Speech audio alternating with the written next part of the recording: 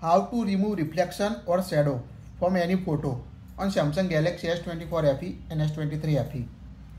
To use this AI feature, make sure your device update with the latest software update. To check it, go to settings. Scroll down up to software update.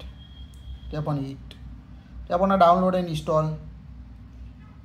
Here you make sure install the latest October update on your device.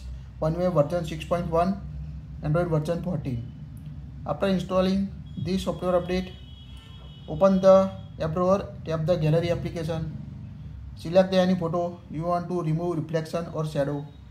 Here we select this photo. Now tap the three dots at the top right corner.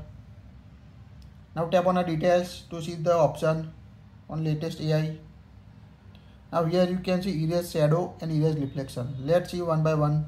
First we tap erase reflection. Now it will automatically analyze and uh, erase the reflection. You can see message reflection erase. You can see totally different image. Tap on a save. Tap on a save copy. Now you can see the erase reflection. You can see both photo.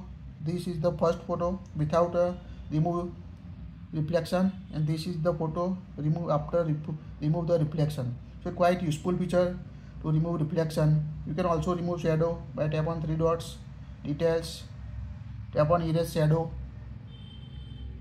and it will remove the shadow from your photo and now you can see shadow erase tap on a save button tap on a save copy and then compare the both photos that's it like it share it